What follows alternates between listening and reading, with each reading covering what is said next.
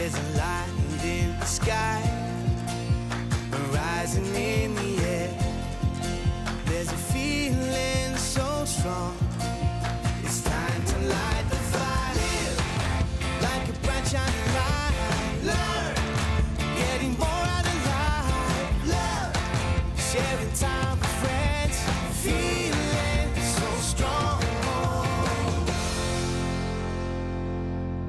Hello, welcome to the House of Wellness. I'm Luke Darcy, and I'm thrilled, as always, to be joined by my great mate, Jo Stanley. Welcome, Jo. Dars, it is always awesome to be here. I look forward to seeing you. It's a huge highlight compared to the only other three places that I go these days, which is home, the park, and the supermarket. I almost feel guilty asking each other, what have you been up to, Jo? Because we know in Melbourne, not a lot. Lockdown has been a pretty tough road to travel. But as we've said a lot on this show, innovation comes out of necessity. And we've seen some great ones, Jo.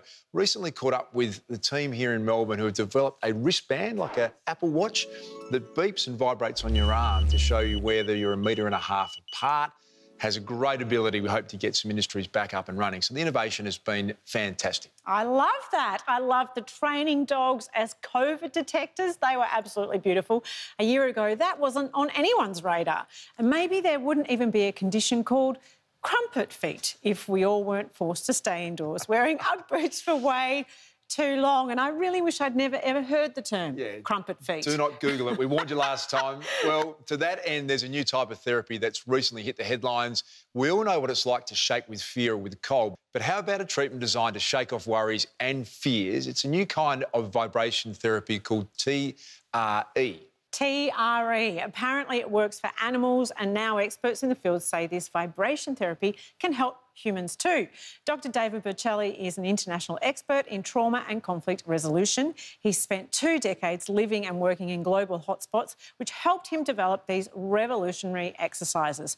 I started by asking him the obvious question what is TRE? TRE is an acronym which stands for Tension and Trauma Releasing Exercises. And it's, it's very simple. It's a series of seven exercises that activates a tremor mechanism in the human body that helps reduce stress and tension. It does sound simple, but it also sounds like something I've never heard of before. How did you come up with this? Well, first of all, you think you never heard of it before, but I'm sure you've watched a dog shake in a thunderstorm. I assure you, you watch people when they were nervous standing in front of an audience, either their hand was shaking or their voice was quivering or their knees were shaking. We see this all the time. How I came up with it is a little bit more unusual because I was living in Africa and the Middle East, and I was working with a nonprofit organization with um, survivors of war or political violence. So I was working and living within that environment. So there were lots of bombings and shootings and all this stuff that goes with living in war. And I was in a bomb shelter one time and I was holding two children. They were sitting on my laps because we were on a long bench. And they were about two years old, but they were shivering like they were cold. And it was that shaking mechanism, and I could feel it in my hands. And I was fascinated. So I was looking around the bomb shelter and I saw that all the little children were shaking like this. Then, when they got to be about 9, 10, or 11 years old, you could see that they were shaking, but they were trying to stop it. And the adults were not shaking at all. And right there, that moment, it's like, oh my goodness, we've learned how to inhibit or even stop a purely natural mechanism in our body that these young children haven't learned how to inhibit yet. So they give into it freely. So I began to recognize this tremor mechanism was automatic. It was natural to the human body. And when I came back to the United States, I began to explore and research this and discovered that mammals all do this. And, um, and so mammals do this in an uninhibited manner, and mammals in the wild do not suffer from post traumatic stress disorder. It's very confronting to see for the first time. What actually makes the body shake? So, we have central pattern generators that are located along the spinal column, and they help our reflex responses. And then we've got muscle spindle fibers that are located right inside the muscles, and they twitch we usually feel that very easy when the muscle is twitching. And then we have the brain stem and the cerebellum. They're the two most primitive parts of the brain. They are active in your breathing and your heart rate and your blood pressure, as an example. You don't think about those, but the, those parts of the brain continually activate those. Well, those parts of the brain are where the tremor mechanism comes from. It's a brainstem activation and it's very primitive. So, what parts of the body are tremoring? I found out that it seems to be the abductor muscles, which are the muscles on the inner thigh of the legs. They seem to be able to activate easiest. And so when those abductor muscles activate, what they do is they're going to try to travel through the pelvis, okay? And they're going to go through what's called the psoas muscle, which connects the, the legs, the pelvis, and the lower back. Once it hits the spine, the, lo- the lumbar spine, the lower back, it will try to travel its way up the spinal column, out the shoulders and arms, and into the neck. So, literally, the tremors can go completely from your neck all the ways down to your toes. Our body registers absolutely everything that has occurred to it. And most of us are living with traumas unresolved in our tissue. And by that, I mean our fascia and our muscle patterns. And we don't even know that they're still there. So, what does the trembling in TRE do for that trauma? We know that vibration helps release tension. You vibrate at a certain frequency and it softens the muscle and tissue increases blood flow. When it softens that tissue, if that is connected to a registry of trauma in the brain, those two finally connect again. So the body and the brain, through uh, neural pathways, reconnect. The body actually releases the trauma. And as it releases trauma, it actually produces pleasure, meaning that tension that you didn't even know was there anymore is now gone.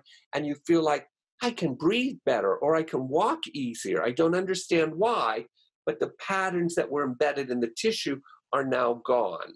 What are the kinds of trauma have you treated with TRE? I've worked with lots of military. I work with common people that have everyday traumas, such as growing up in a difficult childhood, as an example, or uh, CEOs who are under severe stress, management teams, um, nonprofit organizations. But what I try to do is teach them how to help themselves as their own group to do this so that they're not coming to me as individuals, but they're coming as support teams so they work with each other to work as a team or as a family unit or as a community to heal their traumas together. So, what would you say to someone who has never heard of TRE but they're very interested now? What can TRE give us? Okay, what it will do is give you an entrance way, your personal way to to activate the tremor mechanism to then assess for yourself did that feel pleasurable? Did I like that? Even though that was a little bit odd, I had a good result from it. So I always tell people I don't like to talk about the theory at all. What I want you to do is try it because then you become your own researcher. If it works for you, continue to use it. If it doesn't, drop it and move on in life. Well, whatever releases tension and stress is a good thing, Jo. Absolutely. So Taylor Swift got it right when she said, shake it off, shake it off. She did, you know I'm yes. right. She's right. Yes. Who knew so much wisdom could be found in a pop song? Well, 2020 may be a year most of us are pretty keen to forget and move on from. However, 2020 vision is something that we are all very keen to have. Coming up, we take a look at eyesight, mine included. That's coming up next on the House of Wellness.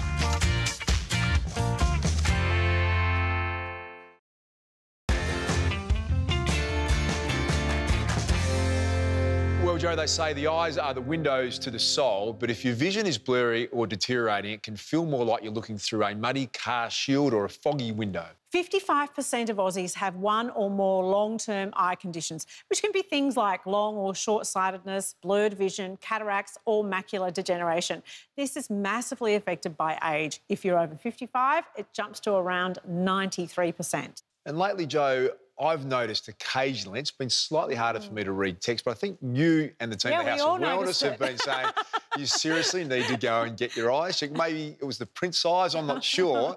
But uh, after many months of procrastinating, I finally went to Vision Australia for a checkup, and I'm looking forward to sharing the results with you a little bit later on. I look forward to that as well, Dars. But here's our doctors, past and present, to clear up the facts on vision and eye health. Hi, and welcome to Medicine Past, Present, and Future. My name's Dr. Nick, and I'm the past. And my name's Dr. Isabelle, and I'm the future. And together, we're, We're the present. Now, Dr. Isabelle, I've got a question for you today. Okay. Which animal has eyes that are bigger than its brain? Eyes bigger than. I have no idea, Dr. Nick. Is it a fish or something? No, it's the ostrich. Oh, okay. Well, I've got one for you then. How many moving parts are there in the human eye? Ooh, uh, seven? Oh, come on, over two million. Oh, that's an eye opening piece of information, Dr. Isabelle. And that's a terrible dad joke, even from you, Dr. Nick. But it does lead us nicely to today's topic, which is everything vision and eye health. Now, we take being able to see for granted, but of course, it wasn't always so. Yes, the first glasses were made in Italy around about 1200 AD. That's just 800 years ago. Before that, if you couldn't see anything, it was just, well, bad luck. But Dr. Isabelle, you may remember this that my vision was perfect until I was in my late 40s. Then all of a sudden, the paper started looking a bit blurry in the morning. What was going on there? Ah, so this is what happens when you get older and the lens in your eye starts to stiffen. Makes it harder to see things that are closer up. And if I remember correctly, Dr. Nick, you used to sit there at the breakfast table with the newspaper and you'd have it out here and you'd say, What does that bit say? Yeah, my arms were really not quite long enough. and then I just popped down to the corner shop and bought a pair of magnifying glasses, and everything seemed better. People would say to me, Oh, you mustn't use those, they're bad for your eyes. Was that true? There's actually no truth in that at all. What's happening there, Dr. Nick, is you're actually just getting older and your Oh. vision's getting worse. But it does bring us to a really interesting topic of conversation, which is myths around eye health. So I've got one for you. We were told that eating carrots was good for our night vision. Is there any truth to that? Now, carrots do contain vitamin A, which the eye needs. But this story about night vision and carrots, it's fabulous. It comes from the Second World War. Because the British had developed a radar system that could detect the German bombers at night time. And so the British fighters were shooting down these German bombers, but they didn't want the Germans to know the technology. So they put out this story that they were feeding the British pilots carrots to help their night vision. I mean, it's just lovely, isn't it? But then, Dr. Isabelle, one of the things that parents are sometimes told is that if their kids sit too close to the TV or if they read at night time, that'll be bad for their eyes. Is that one true? So there's no truth in that at all, actually. But I'll tell you one thing that will really damage your eyes, Dr. Nick, and that's looking directly at the sunlight. It can really damage your eyes, so please don't do it. In fact, sunlight can contribute to a range of different conditions, things like cataracts and even cancer of the eyeball. So, wearing dark glasses doesn't just look cool, but it's actually a really good thing for your eye health, whether you're an adult, a kid, or even a baby, particularly on bright sunny days. Uh, but, Dr. Isabelle, I've got a confession to make. I usually wear glasses all the time. Dr. Nick, I also have a confession to make. So do I. Well, thank you, Dr. Isabelle. and thank you, Dr. Nick. And nice to be able to see you clearly. you too. So that was Nick and Isabelle Carr there, busting the myths about eye health. Did you know that about carrots and night vision, Jo? I had no idea, and kids of the world will rejoice about their verdict on watching TV. Bring it on, they'll say. the kids will absolutely love that one, Jo. No more carrots uh, required. Yeah, and hours of telly. but eyes are fascinating the more you think about them. So, how about a few eye facts that might surprise you as much as the carrots myth does? The average person blinks 12 times a minute. The muscles that move the eyes are the strongest muscles in the human body for the job they do. They're 100 times more powerful than they need to be. Our eyes are the same size at birth, but our nose and ears never stop growing. On a dark night, a human eye can see a candle flickering 45 kilometres away, which sounds a very long way away to me. And finally, the giant squid has the largest eye of all. Incredible facts, Jo. You've done your research uh, today. Now, you mentioned we blink about 12 times a minute, but women actually blink almost twice as much as men. Did you know that? I didn't. And when you talk about blinking, I find now I'm just doing it non-stop. It's really, I'm very self-conscious of that. That is funny, Jo. As soon as you start mentioning blinking, we get very conscious about doing it. But hold that blink because after the break, I put my eyeballs on the line with an eyesight test. That's next on the House of Wellness.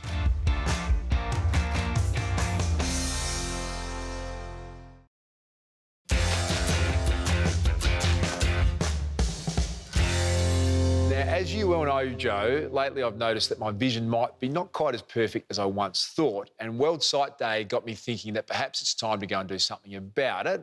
Well, You've no- been encouraging that too. Oh, well, I've just noticed a little bit of a struggle here and there. But neither of us are in the real danger age bracket when it comes to our vision just yet, Dars. Eye issues generally start kicking in with the over 50s, but the good news is that 90% of vision impairment is preventable or treatable. Hey, all the same though, Jo, I took the plunge and got my eyes checked by Vision Australia. They're a fantastic organisation that uses the latest advancements in science and technology, so I was in very good hands. That's an F up there, Tony. top, top of the class? Or Top of the class. We're on to a good start. Got a good feeling for that. So I'm gonna put the trial frames on your face Okay.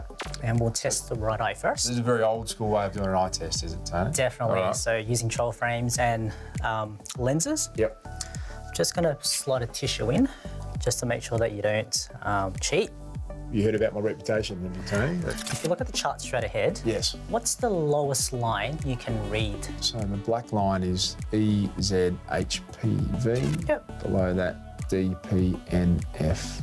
So when I tested Luke's distance vision, I tested each eye separately first, and his distance vision for both eyes is um, better than 20/20 vision. So he has good eyesight for distance.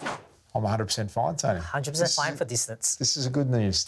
We're just going to test your near vision. So I thought I was home and hose there, Tony. So, So I'll get you to hold on to this reading chart. yep. Uh, top line, neither of my parents were born country people. Some scheme of my father's caused us. He was able to read the smallest print on that eye chart as well.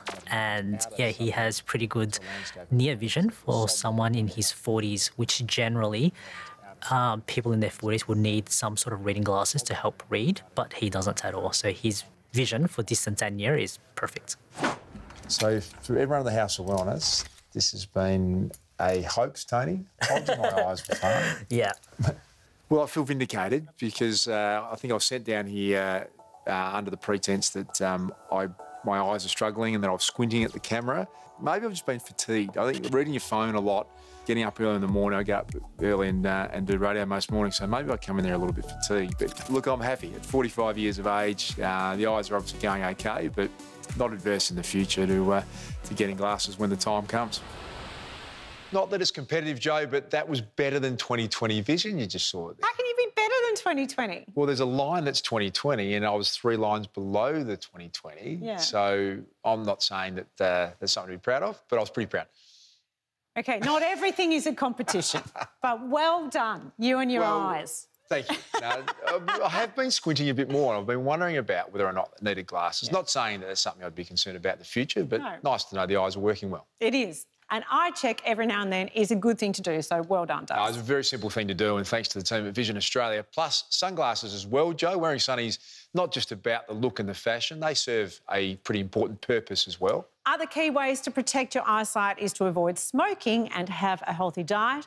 And when it comes to eating well, there are no better experts to set you on the path to health and wellness than Gerald Quigley and Luke Hines. GQ, whether you're a short black, long black, almond latte, soy chai, instant or espresso kind of person, there's no doubt that people love starting their day with a coffee. Well, many of us do, and that includes me, Hinesy. But you know, three in four Australians have at least one coffee every day. My favourite's actually a piccolo, but the most popular coffee in Australia is the humble latte. I like to start my day with a bullet coffee. That means powering it up with MCT oil and grass fed butter. But it's interesting that the old latte is Australia's favourite because I'm doing a Lucified take on one today with this magic mushroom latte. Well, we know that coffee wakes us up because of the caffeine, Hinesy, but what we've got to remember is that the caffeine goes into our bloodstream and in turn goes to our brain. Now, that helps our energy levels, helps our mood, and actually helps our brain function. Well, that explains a lot. Kind of like I can't talk to this crew until I've had my morning coffee. Hmm. They tell me that, Hinesy, every time we meet. Hey, hey, hey, be nice. Now, as much as I do love my morning coffee, I can also get energy from foods. I mean, some of my favourites are things like bananas, avocados, nuts, seeds, even potatoes, which is why I probably love potato cakes so much. And that's because, Hinesy, they all contain B vitamins. Now, there are eight B group vitamins, and they all contribute to our overall health. But one important thing they do is help us convert food into glucose, that in turn is turned into energy. And that is also important for healthy nervous system development. I'm feeling energized already. Any other tips for boosting our energy, GQ? That's easy, Hinesy. We need to get better quality sleep. We need to stop smoking, go easy on the alcohol, stay hydrated, and keep moving. But you can get short bursts of energy from particular supplements. I can't express so enough how much I appreciate your knowledge, GQ. That coffee, Hinesy, has definitely gone to your head. I'm wide awake to your jibes. Cheers to that. The A to Z of Vitamins is brought to you by Go Healthy. For superior supplement for healthy energy and vitality, try New Zealand's number one premium supplement, now available in Australia.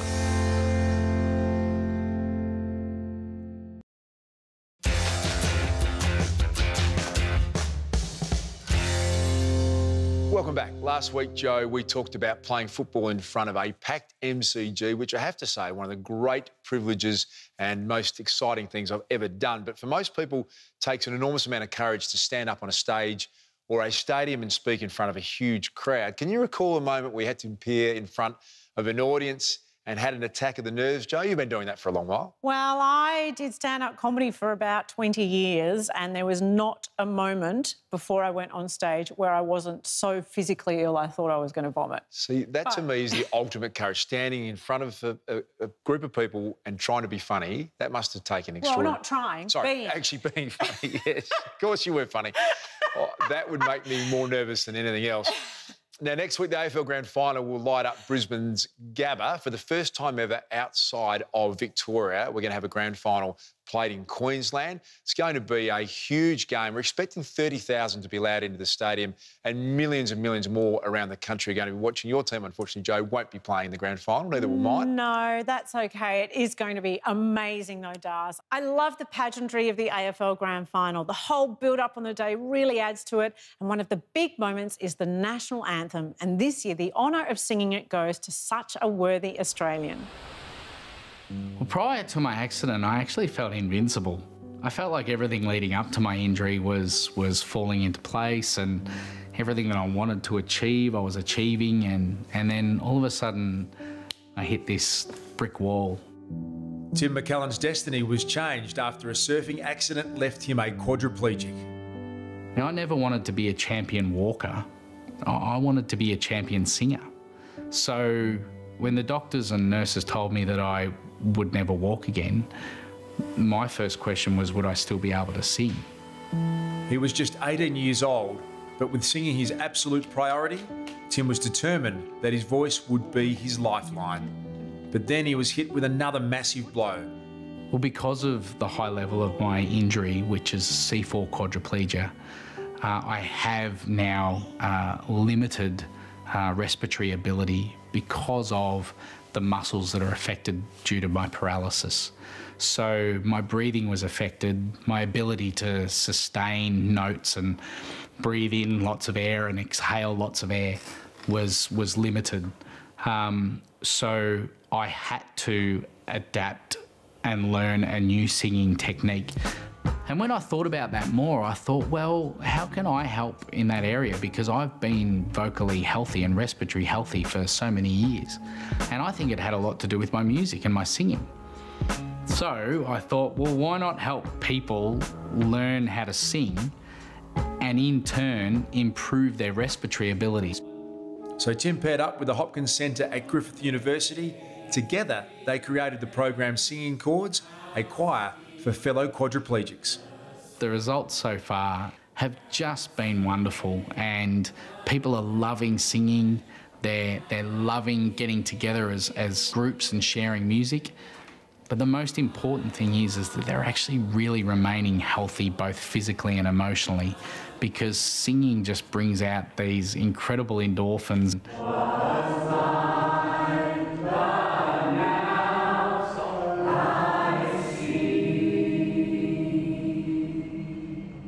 This is a great purpose of why this may have happened to me. Australians all let us rejoice. Next week, Tim will achieve another big goal, scoring one of Australia's biggest gigs. It's been a dream of mine for I don't know how long to be able to sing at the AFL Grand Final. That one minute before the ball is bounced, before the siren goes for the start of the grand final, I get the opportunity to sing our national anthem in front of millions watching.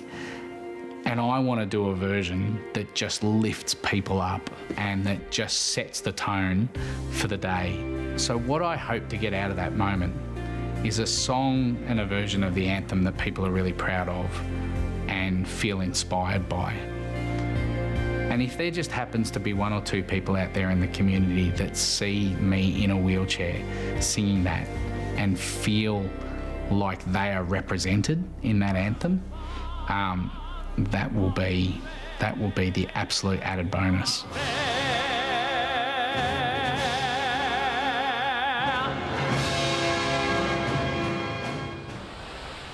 Yeah, with live concerts and the music scene being forced to shut down this year, it's fantastic to see performers like Tim being able to entertain live crowds again, Jo. Oh, I cannot wait to go and see a live performance of pretty much anything. and while Tim's putting his best face forward, all is not lost for those of you who might be going to the game and want to dress up a bit. Get out of the sportswear, slap on some makeup, and make a day of it, I reckon. Here's Jade Kay with her tip on adding an extra layer of glam, whether you're going to the footy or not. Over the course of my career, I've encountered so many clients that have really struggled with applying lashes. I think with the glue, with how to apply it, where to apply it, thankfully, we've come a long way with technology.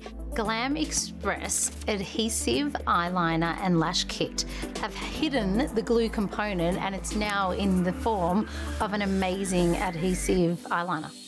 I really love a lash because it elevates any makeup look. It lifts the eye, it shapes the eye, elongates the eye. So Glam Express have left no pages unturned. They've got the beautiful black adhesive liner, which works really well for people like me who love to line their eyes, embrace the cat eye. But if you're someone that you just don't tend to use a black or heavier liner, they've given everyone the option to have a beautiful clear liner that works also. So I'm going to go for the black adhesive liner matched with the natural lash. Most people's eye length varies, so I tell a lot of people to give them a little trim and it'll help mold your eye even better. What I love about this Glam Express liner in particular is the felt tip. It makes it really easy to apply. So when applying liner to the eye, it works really well when it's graduated from a thin line to a thicker line. And what I love about this liner, it has up to 30 uses. So now we have the liner on. Just hold the lash to the right angle that your eye is at and press down for a few seconds.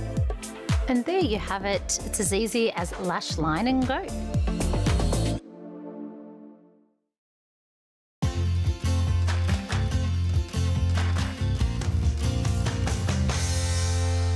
Welcome back to the House of Wellness. I have to say, Jo, over the years, had a few broken bones, bit of an occupational hazard for my former job. Yes. Never a lot of fun. How much? How many? Well, the worst one was probably breaking my leg in school footy, the tibia and fibula, oh. my leg facing the wrong way. That was Oy, not oy. ideal, but you just sort of get cheekbone, thumb, foot, hand, arm. Wow.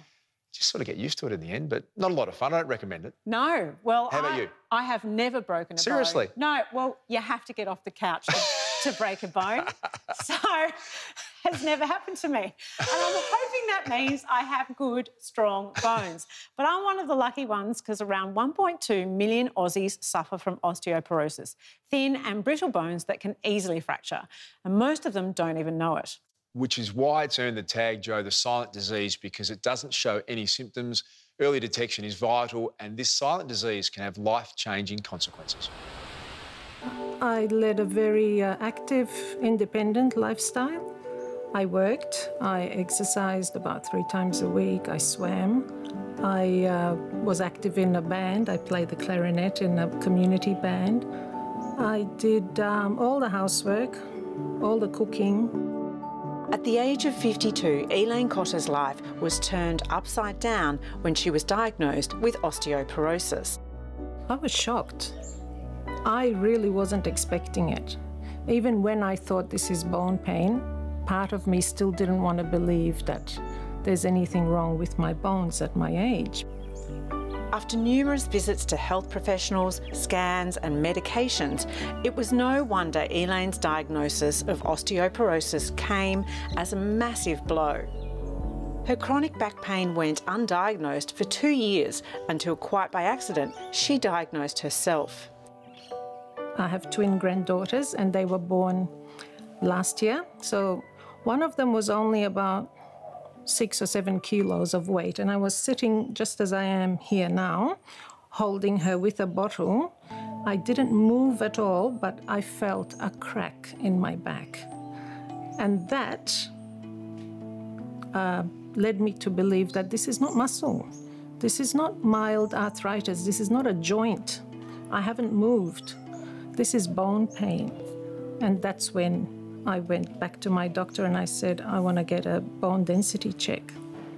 Osteoporosis is very common and it affects about 1.3 million Australians. Probably the majority of those haven't been diagnosed yet.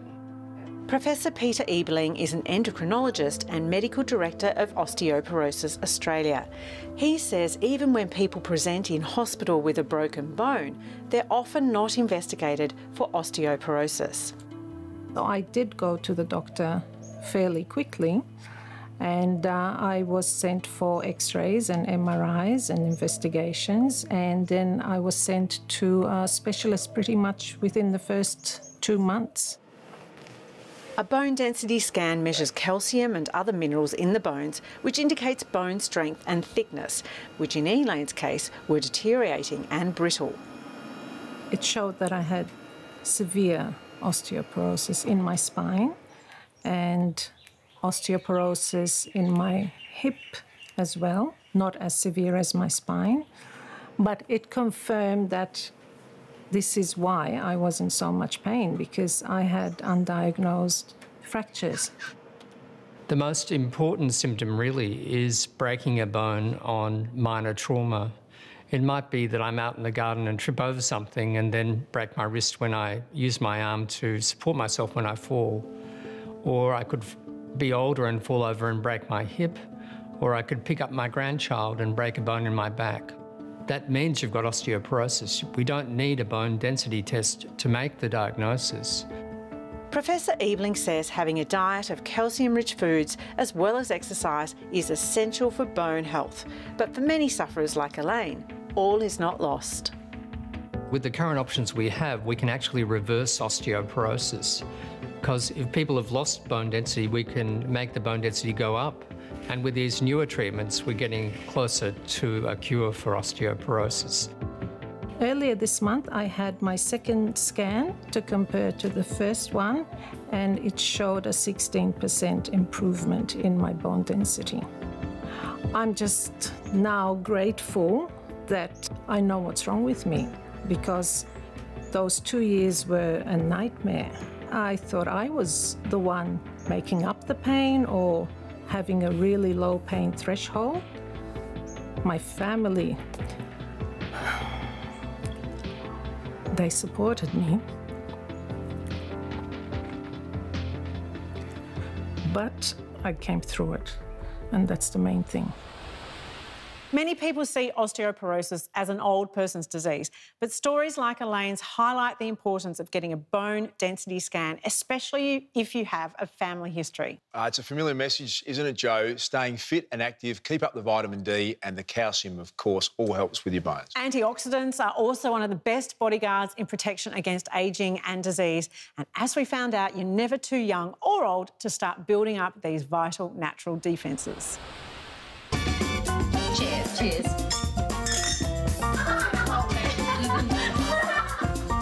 So, ladies, I'm approaching the big 3 0 in a few years, which means I need to pick your brain on all things anti aging. So I'd love to know if you change your skincare regime from your 30s to approaching your 40s. All of a sudden, I started noticing, oh, when I change my face, it doesn't like elasticate back. it's just kind of stuck there. Um, so I have been paying more attention to just the fine lines. I'm not criticizing myself about them. It's a natural part of aging, but I would like to take more consideration into what products using that can kind of, I guess, boost the plumpness in my Yeah. skin. Collagen and elastin are the building blocks of the skin. Collagen gives our skin its firmness. Elastin supports the structure of the skin, so it keeps the skin tight.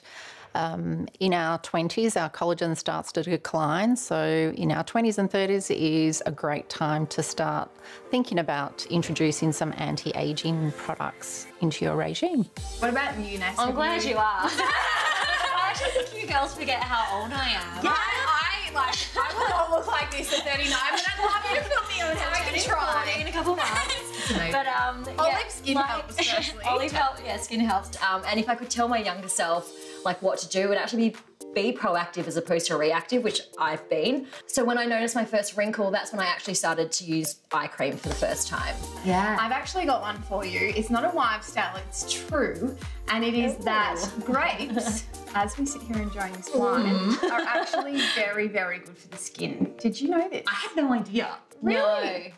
Fruit stem cells is the innovative biotechnology of cultivating active plant stem cells. The Andalou Naturals Age Defying range contains grape and heirloom apple. Uh, the grape works to protect the skin against environmental stresses, and the heirloom apple increases the vitality of the skin cells. A few ingredients that can help with anti-aging are resveratrol, coenzyme Q10, Goji glycopeptides, uh, bioactive berry complex, all super antioxidants that will help the skin. There's definitely been a misconception that natural means it won't be effective. Totally. Which is, I guess, something we really need to educate people on. Natural products, um, you know, loaded with, you know, vitamins and minerals and nutrients and antioxidants and anti-aging actives and fatty acids. So all these things really work to hydrate, restore, replenish, um, rejuvenate the skin cells.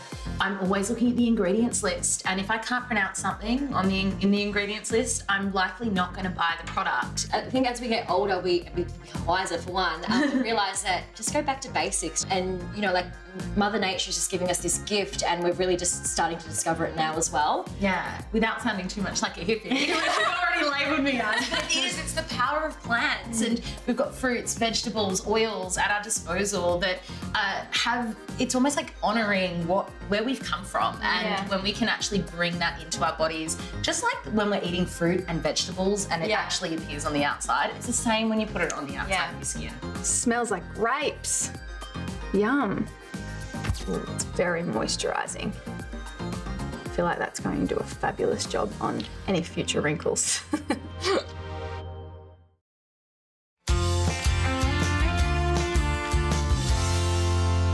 Well, welcome back, Jo. For me, one of the most confusing aisles at the supermarket is the one with all the oils. There's sunflower, vegetable, canola, peanut, extra virgin, or plain. I think Hinesy's favourite's the coconut oil. Yeah, he loves coconut oil. This is true. Well, last week you were very confused by eggs, and this week it's oils. I really worry for you when you go to the supermarket, Dars. Are you okay? but whether you're looking to drizzle a splash of oil on your salad, fry up a chicken schnitty, or roast a leg of lamb, Heinz is here with the good oil. Get it? The good oil. Look, I know it can be confusing walking into the supermarket and seeing the great wall of oils, but the thing is, not all oils are created equal. The thing with oils is that they've all been processed in some way or another to extract the oil in the first place. But the key is using a healthy oil that has gone through as minimal processes as possible, meaning it retains its nutrient density. Take extra virgin olive oil, for example. It's produced within 24 to 72 hours of harvesting and it's extracted either mechanically or by hand with no heat or chemical processes at all.